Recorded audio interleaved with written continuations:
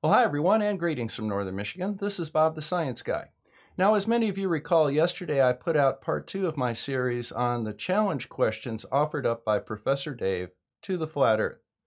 Challenge question number one was make a working flat Earth map. And our flat Earth scholar did a very long video on this, but failed at it miserably. So I thought that I would help him out a little bit. It turns out I made a flat Earth map not long ago, and I'm going to go ahead and present that now so that I can show you all that it can be done. So cue up the music and let's go.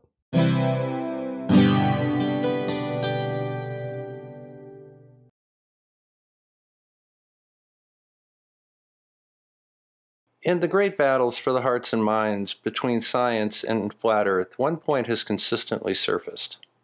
Show me an actual model of the flat Earth. Unfortunately, those in Flat Earth have been unable to produce one.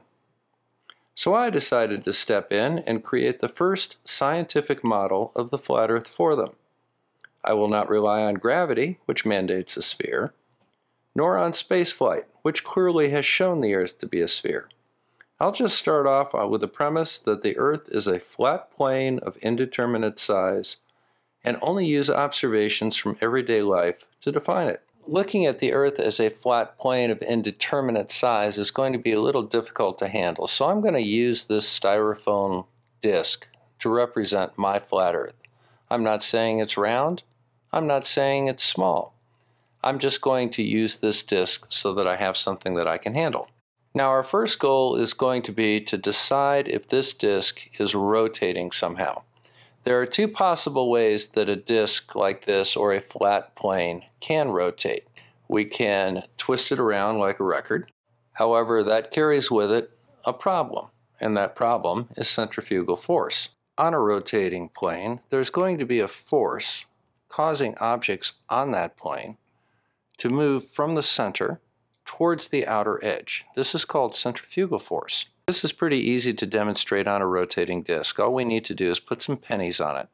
As we put the disc in motion, the pennies will slide from the center of the disc towards the outer edge and slide off.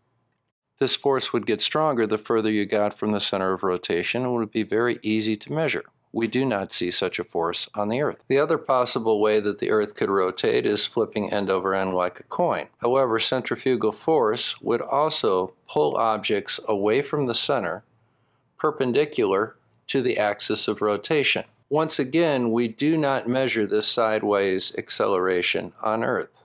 What we do measure is a uniform downward acceleration of 9.8 meters per second squared. The only conclusion is that the Earth is not rotating. It is a stationary, flat plane. We do, however, see movement in the night sky. We see three distinct features. We see two swirling patterns that are the northern and the southern celestial poles. And then we see a series of parallel up and down lines at the celestial equator. Now we need to explain this movement over the flat and stationary Earth. Probably the easiest way to do this is use the flat Earth concept of a dome. With a dome, we can have the stars actually embedded in the material of the dome, or the dome can represent a cloud or a belt of stars that circle the Earth in unison. If this dome was centered over the North Pole, the stars would rotate about that point. The North Star would remain still and the stars would form a circular pattern around it. There is, however, a problem as you go south, as the stars would become closer and closer to the horizon and would begin to move parallel to the horizon without a distinct southern celestial pole. However, this is not what we observe on the Earth. What we do see in the north is the stars moving counterclockwise and circling the North Star. We see the celestial equator, with stars moving in parallel from horizon to horizon. And then we see a southern celestial pole with stars moving in a clockwise fashion we have no choice but to discard the idea of a single dome over the Earth.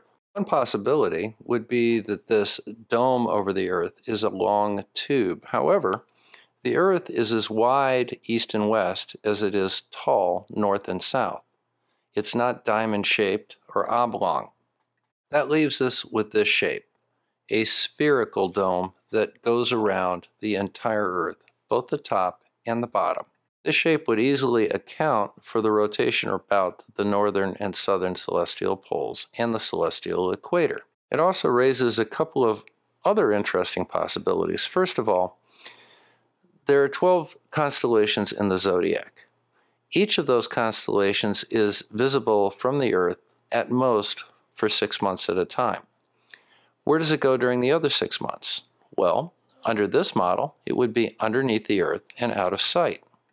Likewise, the sun could set in the west, go under the Earth, and then appear to rise in the east in the morning. Now, another interesting thing is that the Earth would be limited in size by this dome because it must fit within it. It would have to be some specific north south and east west dimension of the surface of the Earth, but perhaps more interestingly, there has to be a limit to the depth of the Earth. The diameter of the Earth could be no greater than the diameter of the dome. The depth of the Earth could be no deeper than the radius of the dome. Since there is a limit to the depth of the Earth, the question becomes is what is supporting the bottom of the Earth? I suppose we can leave that question to future flat Earth scientists. Surprisingly, telescopes with equatorial mounts may well work on this model of the Earth. That is another problem that has been facing flat Earth for quite some time. Now, one problem that does need to be solved is the location and the orientation of the northern and southern celestial poles. Let me demonstrate what I mean here. Let's take a strip of paper and make that run along a line of longitude. We'll use 0 degrees and 180 degrees, so we get one that runs completely across the surface of the Earth. In the center is the North Pole. Now that nail in the center represents the axis on which Polaris must lie. It doesn't necessarily have to be at the tip of the nail, it could be higher, but it has to be along that line. Likewise, Sigma Octantis, the southern celestial pole, has got to lie along the line of the nails at the edges of that disk. Now, going back to our hemispheric dome model, we can see the problem here. We have the North Star somewhere in the middle of that dome along that middle nail. The southern stars will be out by the nails by the edges of the disk. As the disk rotates, we'll have a normal pattern about the North Star, moving counterclockwise, However, the southern celestial poles will move parallel to the ground. This is not what we see from the ground, so we're going to have to modify our model a little bit. To solve this problem, the northern and southern celestial poles need to be on the same line, and that line will serve as the axis of rotation for the spherical dome over the Earth. We can solve this problem by replacing the nails at the northern and southern celestial poles with a wire. This wire will form the axis of rotation for the spherical dome overhead. This will require the curving of the surface. And another problem that we have is what to do with the other celestial pole. We can solve this problem by taking advantage of another observation that we have made. The stars around the southern celestial pole are the same no matter where we see them from south of the equator. This suggests a single southern celestial pole rather than multiple celestial poles, which would have different stars around them. Since both southern celestial poles are actually the same location, we can bend the other line of latitude around and hook it up on the wire the same way as we did with the first. That yields an interesting shape, and more importantly, it gives us another way for this shape to rotate. We can spin it like a coin on a table. Now as the coin spins about an axis, perpendicular to that axis, we will have centrifugal force. This force would tend to pull objects away from the axis of rotation, and it would be maximum at the widest part of the coin. This suggests an interesting experiment regarding weight. As weight is the function of mass times the acceleration acting on that mass, and centrifugal force would oppose that acceleration and lessen it, it would follow that objects on the equator would weigh less than objects further from the equator. Now here we have a 500 gram reference mass on a very sensitive scale in Perth, Australia, 32 south latitude. Now, if we take this same scale and reference mass further away from the equator to Canberra, Australia at 35 south latitude, we find it weighs 0.16 grams more. After a quick stop back at Perth to check the calibration, we take it up to Broome, Australia at 18 south latitude and find that it weighs 499.44 grams, which is less.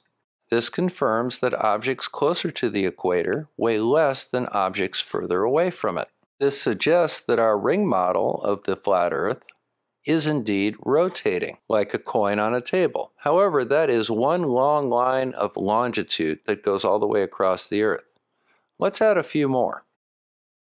Now we have this shape. We can make some predictions on this shape as well. For example, in the spherical dome over the Earth, perhaps the stars are not moving, it's the Earth that's rotating. For example, the sextant has presented a problem on the flat Earth. We can't seem to get the latitude right on a flat Earth with a local Polaris. Let's use some elegant animation by Jos Leys to see whether or not maybe we can explain this on our model.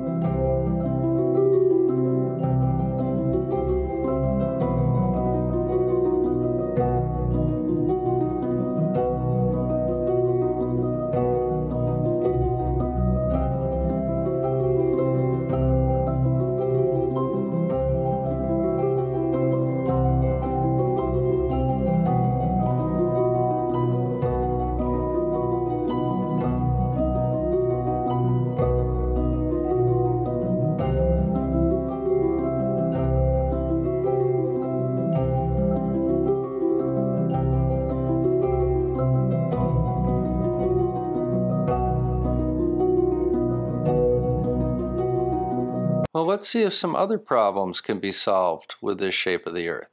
For example, if we looked at Chicago from 60 miles away, we would just see the top of the buildings on this shape, and indeed, we do. At 123 miles, we'd be missing the bottom 6,000 feet of Mount San Jacinto in California, and indeed we are. Flight paths would be along a great circle course rather than a straight line, and indeed they are. Rocket launches from the 1940s would demonstrate a curved horizon, and they do. As we see in everyday observations, the sunset illuminates the bottom of the clouds, and then the sun sets below the horizon as night falls. Ring laser gyros would measure rotation while sitting on a table. Water levels would demonstrate that the horizon is below the eye level of the observer as they do. Seismic waves would propagate in very distinct patterns. This is observed on Earth following earthquakes at any location throughout the Earth. The result is that using common observations and logic, we have a working model of a flat Earth. It is the spherical globe Earth. Well, guys, thank you very much for stopping by. I hope you enjoyed this presentation. And as you can see, there is a working flat Earth map. It's called our globe Earth. So, this is Bob the Science Guy signing out from Northern Michigan. Make sure you hit that like and subscribe down there. Maybe check out a few of these wonderful playlists. And I'll see you again soon. Take care.